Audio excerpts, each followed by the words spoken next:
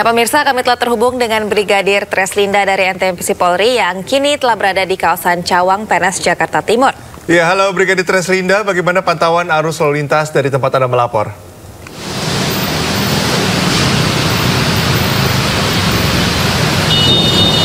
Ya baik, terima kasih Cika dan juga Aulia di studio.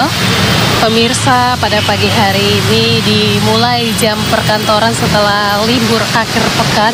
Memang eh, peningkatan volume kendaraan di kawasan ini cukup signifikan dari arah Cililitan yang akan mengarah ke arah Cempaka Putih.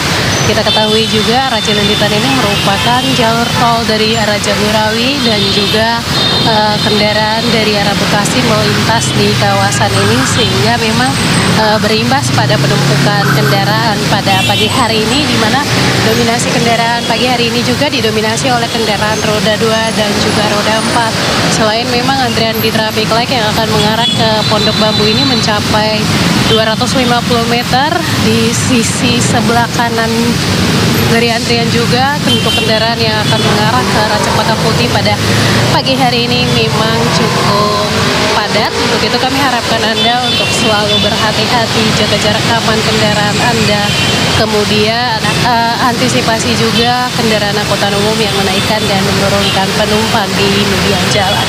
Kemudian kepadatan kendaraan juga terjadi dari arah Cempaka Putih yang akan mengarah ke Cililitan maupun ke arah Halim. Hal ini juga bisa kita lihat bersama dari imbasnya kepadatan kendaraan sehingga banyak kendaraan roda 2 maupun kendaraan roda 4 yang memasuki jalur busway dengan harapan mungkin uh, bisa lancar untuk mengikuti uh, jalur busway ini. Namun hal tersebut melanggar aturan di mana tidak menggunakan jalur sesuai dengan ketentuan sehingga menghambat juga jalur busway uh, perlintasan busway yang akan melintas di kawasan ini. Untuk itu kami harapkan Anda untuk selalu tertib tertib berlalu lintas ini menyelamatkan anak bangsa dan juga menghindari benturan terjadinya kecelakaan lalu lintas untuk arus lalu lintas dari arah Pondok Bambu yang akan mengarah ke Cililitan maupun yang akan berbelok arah mengarah ke Cempaka Putih pada pagi hari ini juga dalam keadaan ramai cenderung tersendat di antrian traffic light. Saat ini sudah ada anggota kami di lapangan yang mengatur jalannya arus lalu lintas. Besar harapan kami Anda dapat mengikuti arahan serta petunjuk petugas kami yang berada di lapangan. Kemudian uh, Cikal dan Aulia kami juga menginformasikan data dari SMS Korlantas Polri selama 1 kali 24 jam terjadi 181 kasus laka lantas dengan rincian 23 meninggal dunia, 29 luka berat dan 222 luka ringan. Dari 181 kasus laka lantas tersebut, 60% terjadi pada waktu siang hari.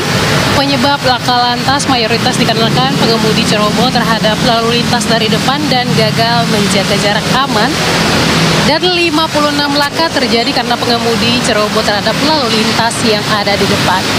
Untuk itu penting sekali kita menciptakan keamanan ketertiban di jalan raya dengan tertib berlalu lintas. Hal ini untuk mencegah terjadinya kecelakaan lalu lintas. Untuk mengupdate informasi-informasi seputar arus lalu lintas terkini, kami siap melayani Anda di 15669 atau melalui SMS center kami di 9119. Cika dan juga Aulia kembali ke Anda silakan. Ya terima kasih Brigadir Treslinda melaporkan dari kawasan Cawang Penas Jakarta Timur. Selamat bertugas kembali dan salam, salam presisi. presisi.